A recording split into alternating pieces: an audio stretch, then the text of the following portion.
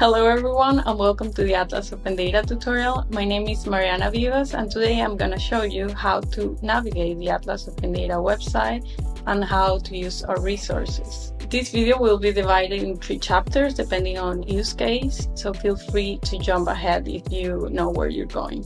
So let's get started.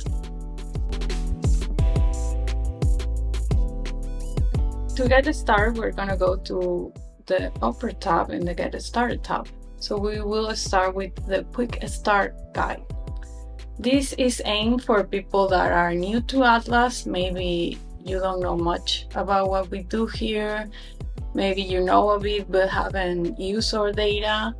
So we made this little guide. If you don't know what we do here, I will suggest that you start with the general information. So read a bit about the Large Hadron Collider, about the ATLAS experiment, about the standard model, just so that you get familiar with what we are doing.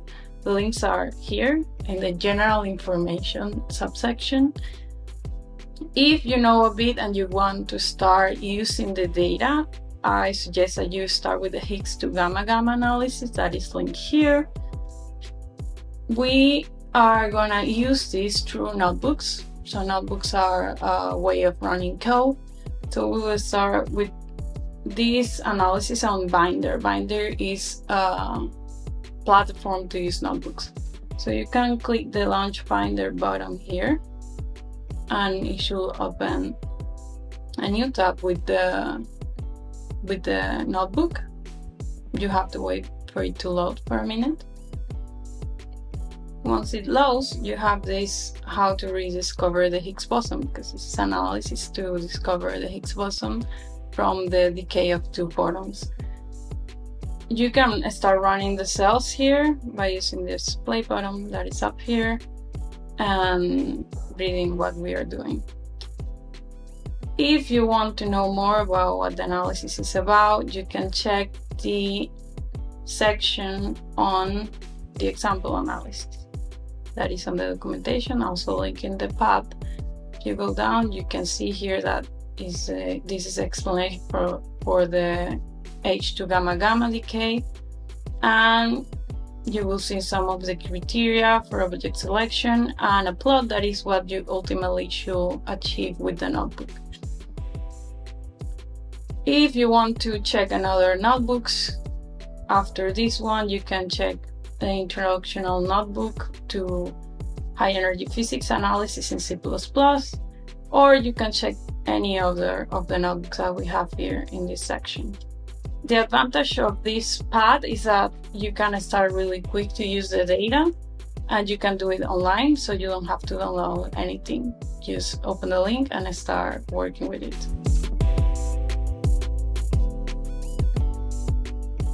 Now we are going to the deep dive and the deep dive is aimed for people that want some more extended use of the data. So maybe you want to run multiple notebooks. Maybe you're a teacher and have a classroom, so you can set up multiple computers with this. And the advantage is that you can save changes locally, so you will have the notebooks locally. And even you can download the data, so you can have the the data on the computer and you won't need internet to run the analysis. So for this part, we're going to start in the hybrid platforms, which is where the information about the two platforms that we currently have, which are Docker and virtual machines. I will focus in Docker right now. For this, you need to download Docker and open it. The link is here for the official website. Once you have Docker open, you can run a terminal and run this code that is here. This will download the container and the first time that you run it, it will take several minutes to download, so beware. Once it downloads everything, you can copy this path here on the terminal on your browser and it should open this Jupyter interface. Once you have this set up, we are gonna go to the analysis notebooks and select any notebook. For this example, I'm gonna clone all the repositories. So I'm gonna download all the all the notebooks in one in one go. Opening the terminal on the Jupyter interface and doing git clone with the link that I just got from the GitHub. Once you clone the once you clone the repository, you will have the file here with all the notebooks. I will go, for example, to 13TeV notebooks to uproot.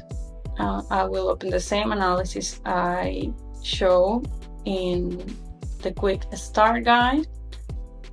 And you will have the analysis here. The link for the data is this one. So if you want to download the data, you can copy this link, open it, and you will see the files here. You can also check which files are being used. So for example, this is using data A, which is this one here. And you can have it locally and then you can run the notebook without using internet.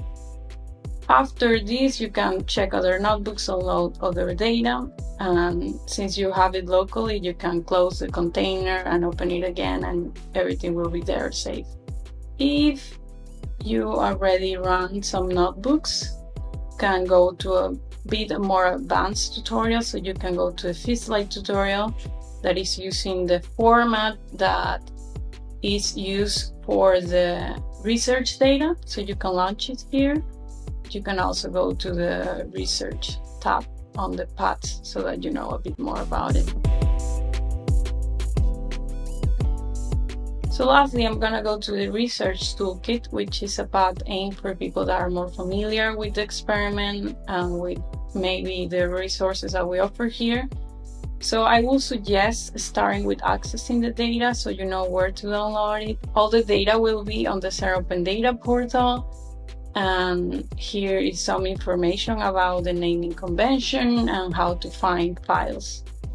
After that, I will suggest reading a bit about the PHYSLITE format, uh, which is the format in which the data will be released.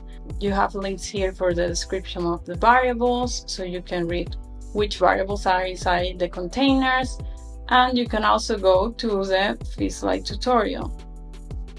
This tutorial is aimed to show how a simple analysis can be made with PHYSLITE directly. So we're gonna launch it here. You can launch it on Binder or you can download it. It's on a GitHub repository. If you wait here for a minute, the Binder repository should load the notebook.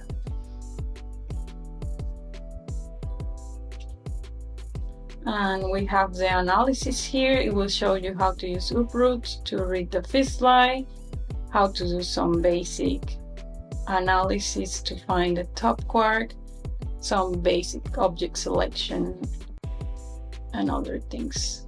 You also have here how to transform the PHYSLITE to ntuple. This is using the analysis software tutorial that is linked here and is the software that we use here at Atlas to do analysis. For this, you will need to learn how to set up your containers, which is in the next section here. And for this, you will need Docker and run the commands that are here. Further information can be found here linked in the path for researchers, or you can go directly to the documentation tab if you need something in particular. So finally, if you have any questions, you can go to the contact us tab fill the form and send a question. Make sure that your question is not addressed in the frequently asked questions tab or in the what's new tab. You can also leave questions in the comments down below.